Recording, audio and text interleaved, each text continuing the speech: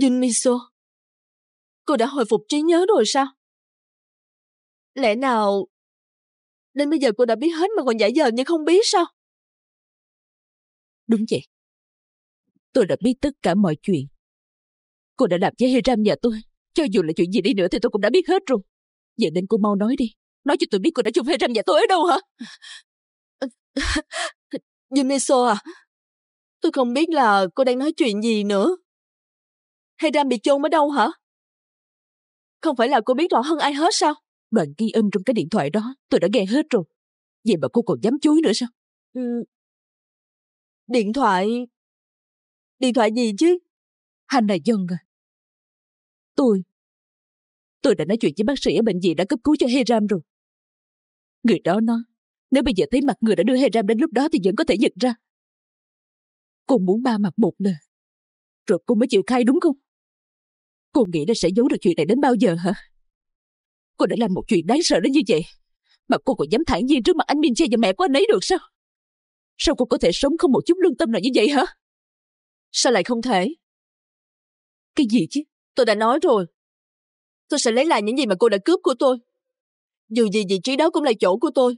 Nếu cô không xen vào. Nữ chủ nhân CK, vị trí đó nó đã thuộc về tôi từ lâu lắm rồi. Cô nói vậy mà nghe được sao Hannah chứ? Cô muốn tôi nói thật hả? Được thôi. Dù gì cô đã nghe hết rồi. Tôi đành thừa nhận vậy.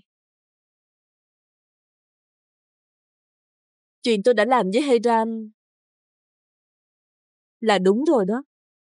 Tôi đã làm. Junmiso, cô muốn biết Heyran được chôn ở đâu lắm có phải không? Một khi cô đi báo cho cảnh sát biết, thì chắc chắn tôi sẽ ngồi tù. Lúc đó, tôi tuyệt đối sẽ không nói cho cô biết để chôn Hiram ở đâu đâu. Cô nói vậy là sao chứ? Dù có chết tôi cũng không nói cho cô biết. Junmiso, tôi là con người như thế nào cô cũng biết mà. Cô đi tố cáo tôi với cảnh sát. Có nghĩa là cô vĩnh viễn không tìm được xác của Hiram. Lúc đó tim cô sẽ dở dụng ra và sống trong đau khổ. Còn Hiram, phải vĩnh viễn nằm dưới đất. Không thể gặp lại mẹ nó dù chỉ một lần. Và cũng không được mồ yên mã đẹp. Hành này Dân à, làm sao? Làm sao cô có thể... Cho nên Junmiso à, cô nghĩ kỹ đi. Cô cũng đâu có muốn bỏ rơi Heyram như vậy đâu, phải không? Vậy thì... Cả hai chúng ta đều cần có thời gian suy nghĩ thêm rồi. Tôi hy vọng cô suy nghĩ thật sáng suốt. Cô mà sai một bước, thì vĩnh viễn cô sẽ không thể biết nơi chôn Heyram đâu.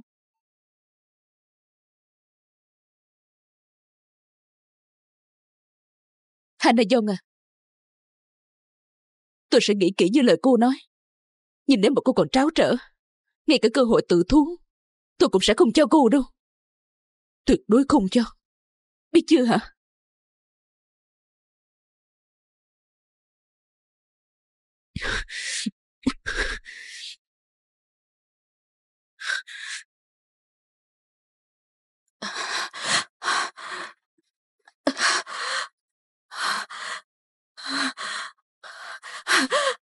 Uniso đã biết hết rồi sao? Giờ mình phải làm sao đây? Cô ta đã nghe hết đoạn ghi âm, nhưng cô ta vẫn chưa báo cảnh sát. Phải rồi, cô ta vẫn chưa có chứng cứ rõ ràng mà. Cho nên cô ta sẽ không đi tố cáo mình ngay đâu. Trước mắt, mình phải chuẩn bị tiền. Có tiền thì mới bỏ trốn được chứ.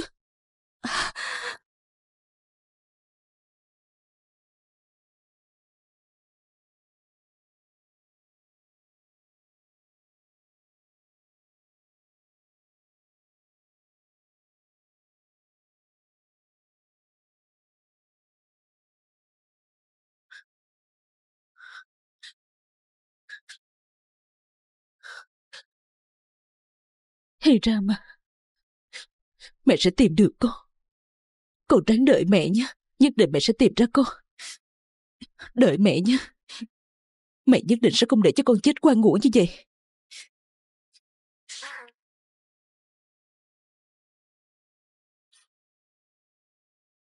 Miso à, anh đến vì có chuyện này muốn hỏi em nè.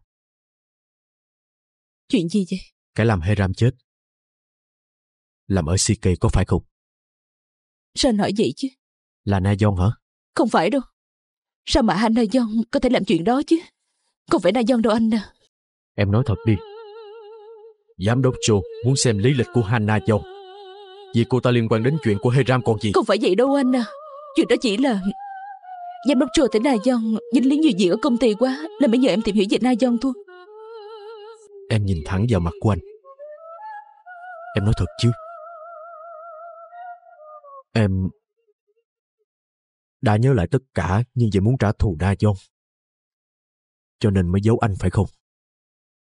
Không phải. Không phải vậy đâu. Vậy thì là ai? Em nói kẻ giết Hiram đang ở CK mà. Rốt cuộc là ai chứ? Phim88.com xin hân hạnh giới thiệu đến các bạn bộ phim này.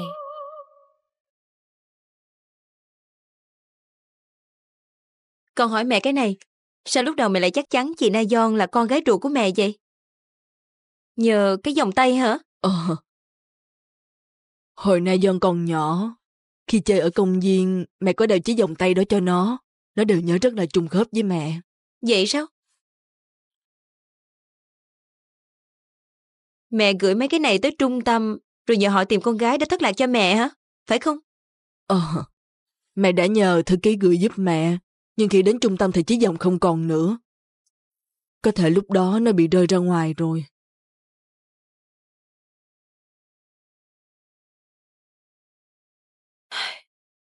Chiếc vòng ở trong đây thì làm sao mà rơi ra được chứ? Chắc nó còn ở đâu đó thôi. Mẹ đừng có quá lo lắng mà. Hay đi anh à? Ừ? Thực sự, mẹ rất là biết ơn con Herion. Một phần là vì con đã cố gắng hòa thuận với Na Gion. Một phần vì những lúc mẹ mệt mỏi, con được ở bên cạnh an ủi mẹ. Con hiểu lòng mẹ mà, phải không hả? Mẹ khách sáo quá à. Trễ giờ rồi đó, mẹ đi làm đi. phải rồi, mẹ đi làm nha.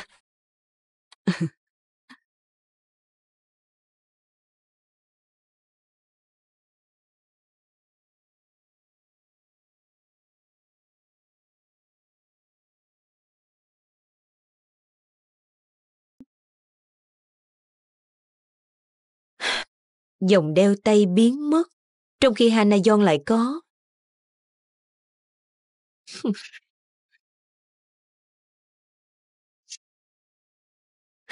Mình đoán không sai mà. Chuyện đeo dòng ở công viên tất cả đều có ghi ở đây còn gì. Mẹ nói là đã đưa cho thư ký gửi đến trung tâm điều tra. Chắc chắn là Hana Hanayon lợi dụng lúc đó rồi. Nhưng mà, để xem cô ta còn dám đóng giả con gái của mẹ cho đến khi nào nữa đây. Cô kêu tôi bán đất hả? Bán ngay bây giờ sao? Dạ, càng ngày giá đất càng xuống, cho nên mẹ bán gấp đi à. Mà sao tự nhiên cô cần tiền làm gì vậy? Ừ, con muốn kéo Junmeso ra khỏi cái ghế đó. Cho nên con cần ít vốn. Nhưng tôi không có hứng thú gì với Yumiso hết. Bây giờ dù cô có làm gì Yumiso đi nữa, tôi cũng không muốn quan tâm đâu. Bộ cô không biết điều đó hả? Con làm như vậy là gì mẹ mà. Mẹ mà bán đất liền đi. Cô làm vậy là gì tôi sao? Sẵn đây tôi cũng nói rõ cho cô biết luôn. Nếu tôi mà rời khỏi CK, tôi cũng không biết sẽ sống như thế nào nữa. Cho nên, từ bây giờ dù một đồng tôi cũng sẽ quản thật chặt. Có cái gì khác quý hơn tiền sao? Cho nên, tất cả tiền mặt mà tôi đang có, tôi sẽ đem gửi cho ngân hàng hết. Đó là cái tốt nhất. Mẹ nói cái gì? Mẹ định làm như vậy thật sao? Cái gì? Con Hana Hanayon đó? Thật sự dám trơ tráo vậy sao? Ờ. Cô ta nói là sẽ không cho mình biết. Cô ta đã chôn Hiram ở đâu? Ôi, đồ xấu xa. Miso à, chúng ta đừng nhân nhượng nữa. Mau đến trình báo cảnh sát đi. Cô ta không phải là con người. Cái con Hana Hanayon đó. Mình phải cho cô ta suốt đời phải ăn cơm tù mới hả dạ? Cậu do dự cái gì? Miso à, cậu sẽ không tìm được Hiram nên vậy đó hả? Dù mất bao nhiêu thời gian đi nữa. Chỉ cần tìm là được mà. Nếu tìm hết cả nước, không lẽ cũng không thể tìm được hay sao? Không được. Cô ta nói nếu báo cảnh sát, dù cô ta có chết đi, cũng không bao giờ nói cho mình biết chỗ cô ta chôn hay ram là ở đâu đâu. Dù chúng ta có báo cảnh sát đi nữa, nhưng hành là do cố tình im miệng, không chịu khai đã kéo dài thời gian, thì vụ án cuối cùng cũng rơi vào quên lãng thôi. Cô ta là con người dám làm vậy đó. Vậy sắp tới cậu định đối phó như thế nào hả? Bằng mọi giá mình sẽ tìm hiểu cho thật kỹ. Trong khi anh Jay ức có hỏi cậu ai là người đã giết Hề Ram, cậu tuyệt đối cũng giữ bí mật nha. Nếu như anh trai ước mà biết, thế nào anh ấy cũng giao nạn nhân cho cảnh sát cho xem. Đương nhiên là anh ấy sẽ làm như vậy rồi.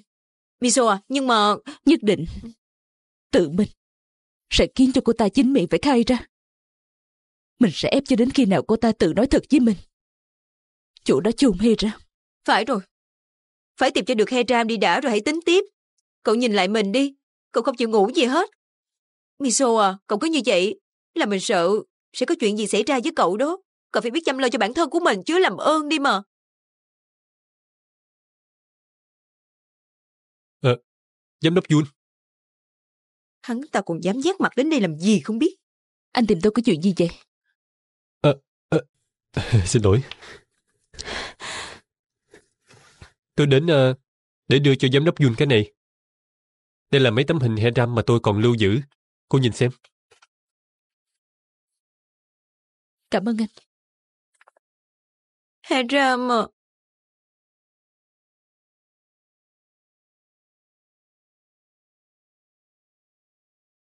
Người nghĩ đến ờ, giám đốc Jun không có ai ngoài tôi hết. Bởi vì Heram và giám đốc Jun, dù là chuyện gì đi nữa, tôi cũng có thể làm được hết. Là tôi nói hoàn toàn là sự thật đó. Giám đốc Jun hãy yên tâm, tôi có thể làm được. Giám đốc Jun à. Chắc là giám đốc đã quên hết rồi cho nên hôm nay tôi nhắc lại cho cô nhớ nha. Lee Min Che cái tên đang ngồi đây nè. Trước đây hắn ta đã ngoại tình mà còn dám ra tay đánh giám đốc nữa đó. Tôi nói thiệt đó, đừng có tha cho hắn ta. Cái cô này, cô, cô bị làm sao vậy? Sao chứ? Tôi đã nói sai cái gì hả? Thôi, tôi xin phép ra ngoài đi. Ơ trời. Ờ, giám đốc Jun à, thật sự á, khi đó tôi cũng có nỗi khổ riêng của mình mà. Hả?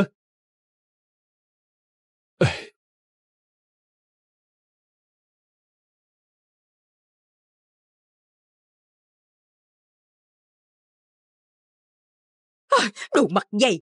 Hắn ta cứ tưởng Miso mất trí nhớ cho nên mới tới che chản chứ gì. Hắn để lấy Heram ra để nịnh bợ Miso đó hả? Hắn ta đúng là một tên xấu xa mà. Lee Min Che, dù anh mặt dày tới cỡ nào, thì tôi cũng dạch mặt anh ra. Chết nè, chết nè, chết nè. Cô Trung Hy à, Ờ, dạ chào luật sư Seo. ừ, cô làm gì ở đây vậy? À, dạ, dạ đâu có làm gì đâu.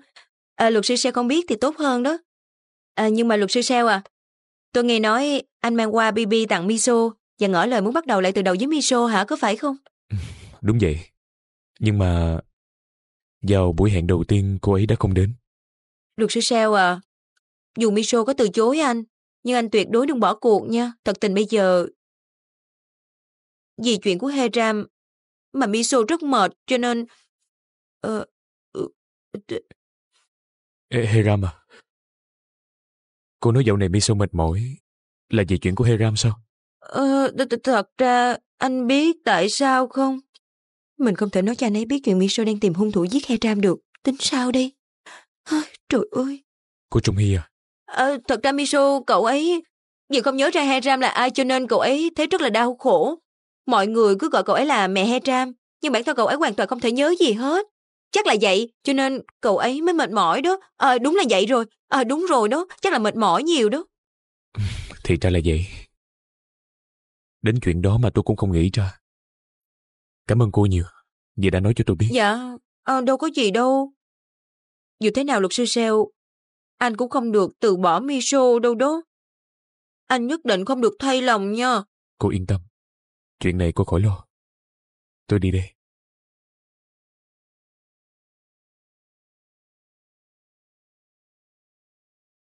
Ba, anh chị hút tới rồi nè. Bác thế nào rồi? Chắc phải đợi thêm một thời gian nữa có đúng không? Bác sĩ khuyên em là ừ, cứ nghĩ bệnh tình của ba không trở nên xấu đi đã là may mắn lắm rồi. Khuyên gia đình phải cố lên. Vì nghe nói nằm hôn mê như thế này có nhiều trường hợp chuyển biến xấu hơn nữa đó. Tranh kia, không có chuyện đó đâu. Chúng ta sẽ cổ vũ cho ba em mà. Ừ? Cảm ơn anh nha. Nè, anh chê hiếu à? Sao? Thật sự bây giờ anh giống như là anh ruột của em vậy đó. em xin lỗi vì lúc đầu đã đối xử không tốt với anh. Ừ? Không phải anh em thì không cần xin lỗi sao? Dạ. Chan kia à, em dẫn cho ăn cơm. À, anh Chê Hy ước cũng ở đây sao ạ? Ừ, Chị tới rồi hả? Chào cô Trung Hy. Miso dặn mình tuyệt đối không được nói cho anh Chê Hy ước biết. Nhưng chắc anh ấy cũng sẽ không kêu mình kể đâu ha. Hôm nay à, chị mang tới hai phần cơm cuộn hả? Nếu vậy thì phần này à, em sẽ đem đi cho mấy cô y tá chăm sóc ba. Chị Trung Hy ở đây ha? Ồ, ồ, ồ, à, hay để chị đi chung với em nha. Cô Trung Hy, À dạ. À anh gọi tôi đó hả? phải. Cô Trung Hy nói chuyện với tôi một lát được không? Ừ. Cô Trung Hy à, Dạ. Miso đã biết thủ phạm hãm hại Hiram. Người đó là ai vậy? Cuối cùng anh ấy cũng hỏi rồi mình tính làm sao đi. Chuyện này tôi cũng không rõ lắm mà. Là Nayon phải không? Có phải Miso kêu cô đừng nói với tôi không? Nhưng sao? Anh Chê Hy ước lại biết vậy? Đúng là Nayon rồi.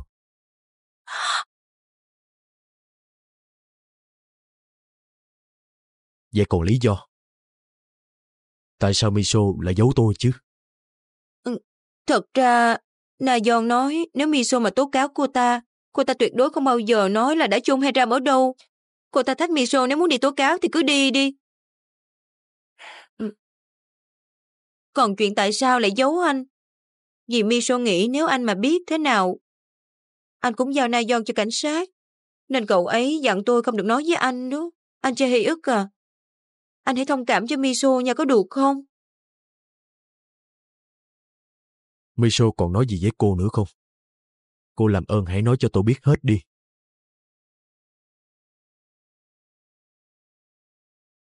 Ồ, Hiram của mẹ xinh quá. Cô công chúa xinh đẹp này không biết là từ đâu ra vậy ta? Sinh ra từ trong bụng mẹ chứ đâu. Cho nên con mới là con của mẹ.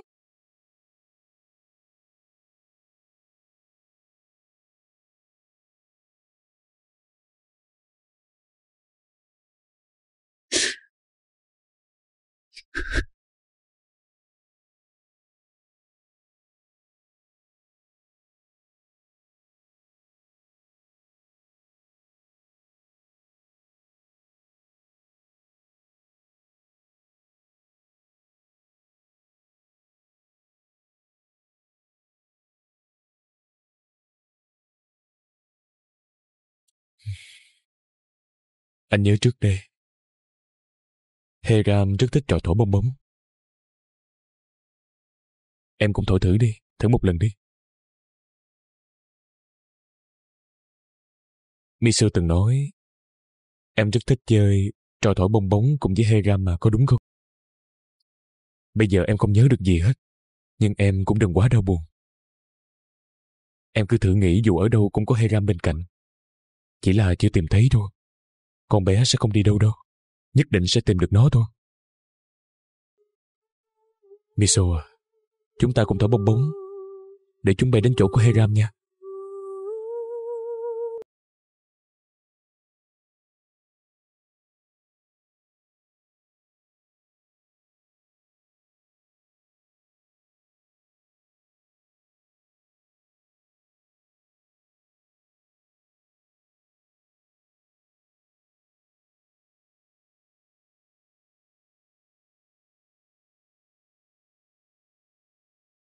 Hay à, con ráng đợi mẹ nhé Mẹ nhất định sẽ tìm được con.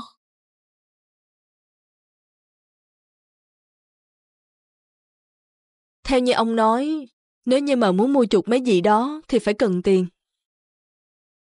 Phó tổng giám đốc là một con người chính trực, cho nên những kế hoạch tôi đưa ra, bà ấy đều tránh né hết. Theo tôi biết, bọn họ đều có thể mua chuộc được, cho nên tôi muốn bàn bạc với chủ tịch. Cô đang định mua chuộc bọn họ chứ gì? Bây giờ chỉ cần đưa cho bọn họ ít tiền là chúng ta có thể yêu cầu họ không được bỏ phiếu bầu cho Jun Miso. Muốn mua chuộc ai đó. Nếu họ cần tiền thì dễ quá rồi. Muốn làm nên việc lớn thì nhất định phải cần đến tiền thôi. Cô không nói, thì tôi cũng sẽ định hỏi cô. Tại sao không dùng cách đó? Chủ tịch ô đúng là suy nghĩ có khác. Dù sao, nếu kéo được Yumiso xuống, thì CK cũng sẽ thuộc về chúng ta. Nếu như vậy, chi tiền cho cô làm việc này thì cần gì phải do dự chứ có phải không? Nếu như chủ tịch sớm chi tiền cho bọn họ, thì thời gian đạp đổ Yun Miso có thể được rút ngắn lại đó. Cô giải quyết công việc cũng nhanh gọn thật đó. Tôi rất thích.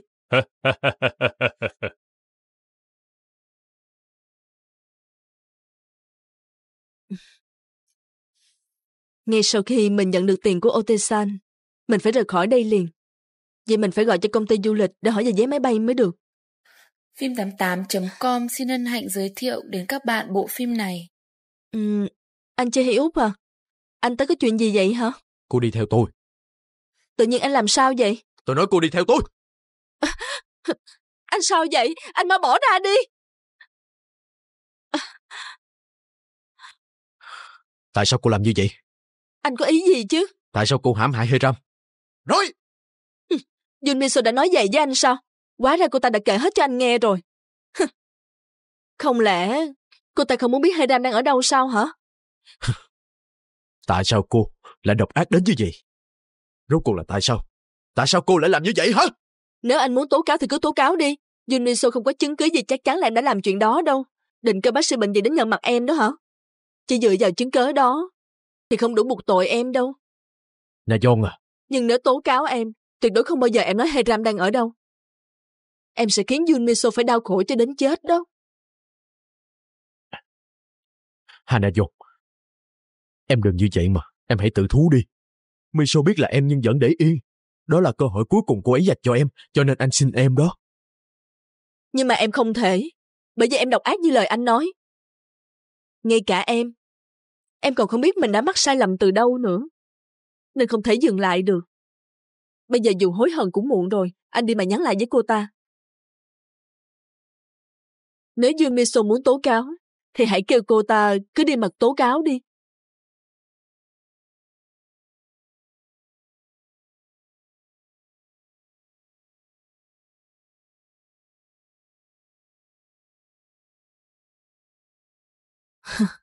Junmiso, tôi hiểu cô rất rõ mà.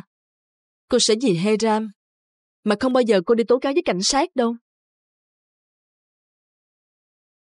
Thuốc mà phó tổng đặt có rồi đây nè. Ờ, cảm ơn cô.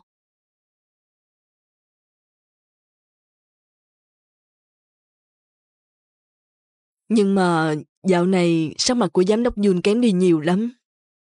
Tôi biết việc công ty nhiều nên mới như vậy. Nhưng mà cô có lo lắng gì khác không hả? Dạ không, không có gì đâu. Chắc là vì đưa ra sản phẩm mới lần này tôi đã làm việc quá sức đi. À. Jun Miso, cô đã nói hết cho anh Chê Hy ức biết rồi còn gì.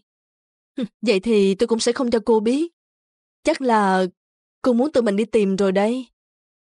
Cô tưởng là tôi chôn hê ram ở nơi dễ tìm như vậy hay sao? Hành nội dung à? Sao hả? Tố cáo đi. Cô báo cảnh sát trước mặt tôi đi. Hay để tôi gọi cho. Như vậy là được chứ gì? Nhất định cô phải ngoan cố như vậy sao? Này John à, đừng có như vậy mà. Hãy nói cho tôi biết Hiram ở đâu đi. Cô thành thật khai báo thì tòa án mới giảm án được cho cô chứ. Giảm án cho tôi?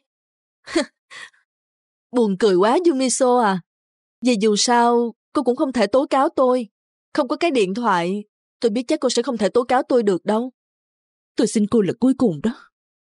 Hành đại John à, hay ram con của tôi đang ở đâu hả? Câu trả lời của tôi là vẫn như cũ. Vĩnh viễn, cô sẽ không thể tìm được Ram đâu. Sao? Muốn giết chết tôi hả? Vậy thì cô cứ làm thử xem. Ôi trời, trời ơi, giám đốc Jun à, cô làm gì vậy hả? Mẹ à, Miso cô ta, cô ta kêu con ra khỏi công ty này. Cô ta còn nói. Vì con đã nhận tiền hối lộ từ công ty đối tác. Nếu con mà không rời khỏi đây Cô ta sẽ kiện con ra tòa đó. Thật không giám đốc Jun? Có thật là giám đốc Jun nói sẽ kiện Na Dân nhà tôi không hả? Tôi hỏi cô mà Cô có nói như vậy không hả? Mẹ à Có tụng à Mẹ. Cô bỏ tay ra. Làm sao Mà cô có thể Làm như vậy mà không hỏi qua ý của tôi hả thì ra, tôi đã nhìn lầm cô rồi. Tôi đã nhìn lầm cô thiệt rồi.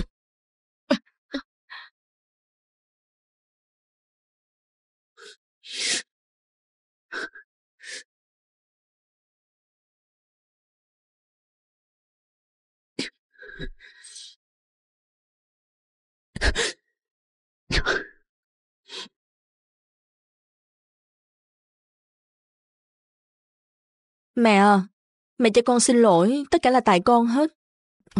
Con bị đánh có đau không vậy? Ừ. con không sao. Tự nhiên bị đánh như vậy, con hơi hoảng sợ thôi. Nhưng mà, Na Don à, chuyện lúc nãy là có thật không hả? Ừ, chuyện gì ạ? Chuyện con đã nhận tiền hối lộ từ bên phía công ty đối tác đó. Mẹ à, ngay cả mẹ còn nghĩ con như vậy có biết làm sao đây chứ? Tại vì, theo mẹ biết giám đốc Jun, cô ta không phải là người như vậy đâu. Thực ra con không kể cho mẹ nghe chuyện này. Jun Miso từ hồi còn ở cô nhi viện đã vô duyên vô cớ, ganh tị và ghen ghét với con rồi. Từ lúc biết con là con gái của mẹ, cô ta thấy con mà không làm được gì nên cô ta thấy tức tối lắm. Giám đốc Jun thực sự là một người như vậy sao? Mẹ à, lúc này mẹ cũng thấy cô ta đánh con rồi mà. Thực tình là con cảm thấy ấm ức lắm. À, thôi mẹ xin lỗi. À, Nayon à. Hay là mẹ gọi Herion tới chúng ta cùng ăn tối với nhau nha. Herion nói với mẹ, nó cũng muốn thân hơn với con đó. Vậy sẵn đây, mẹ gọi nó tới cùng ăn tối luôn hả? Herion nói vậy sao? Ờ. dạ được thôi, thì chúng ta cùng ăn tối với nhau một bữa đi. Chủ tịch mà biết được, là ông ấy vui lắm đó. ừ, vậy để mẹ đặt nhà hàng thật ngon. Lúc nãy chắc con ức lắm hả? Giờ thì vui lên đi nha. dạ. nghe đây em gái à? Em gái, nghe thân mật quá ha. Ừ, alo? Hôm nay mẹ tôi nói chúng ta cùng đi ăn tối có phải không? Cô tới sớm 30 phút đi. Với lại lúc đi, cô đừng quên mang theo chiếc vòng mà cô đã lấy của mẹ tôi đó. Cái gì? Cô đừng giả vờ không nghe. Cô đã ăn cắp chiếc vòng đeo tay của mẹ tôi, rồi lừa gạt bãi còn gì. Chiếc vòng đó nhất định tôi phải lấy lại nó, cho nên cô nhất định phải đem theo. Nghe rõ chưa? Phó Tổng đi sân bay giờ vẫn chưa về công ty sao? Dạ, hôm nay Phó Tổng có hẹn đi ăn tối, nên quay về là bà ấy đến chỗ hẹn ngay đó. Vậy à? Vậy cô tìm hiểu giúp tôi xem bà ấy hẹn ở đâu nha. Dạ, tôi biết rồi. Chắc là Phó Tổng giám đốc giận mình lắm đây. Phó Tổng mang thuốc bổ đến cho mình, mà lại thấy cảnh tượng như vậy. Chắc chắn là phải giận rồi. Xin lỗi bà nhiều Phó Tổng mà. Thực sự xin lỗi bà.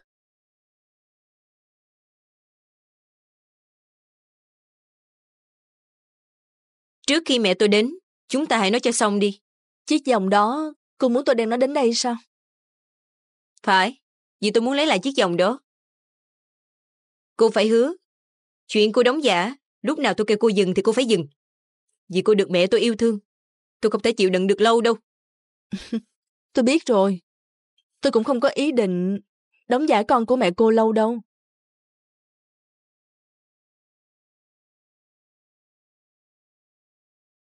Cô có giỏi thì lấy cái này, rồi đi ngăn chuyện Yun Miso trở thành chị gái của cô đi. Cô có ý gì hả? Không lẽ cô không muốn đóng giả làm cô gái của mẹ tôi? Thay Yun Miso hay sao chứ? Phải. Dù đó là Yun Miso, tôi cũng không hứng thú lắm. Không phải là cô ghét Yun Miso đến nỗi muốn giết cô ta hay sao? Vì vậy cho nên thấy mẹ tôi đang tìm con gái trụ. Cô mới nhảy vô đóng giả con gái bà ấy thay cho Miso còn gì. Cô nói đúng. Bây giờ, do có chút việc riêng, nên không tiếp tục đóng giả con gái của mẹ cô được nữa. Trước đây tôi làm như vậy là để Yun Miso không thể tìm được mẹ, dù bà ta đang đứng ngay ở trước mặt mình. Hai người vừa mới nói chuyện gì vậy hả? Yun Miso, cô tới đây làm gì hả? Vừa rồi, cô nói Phó Tổng là mẹ ruột của tôi sao?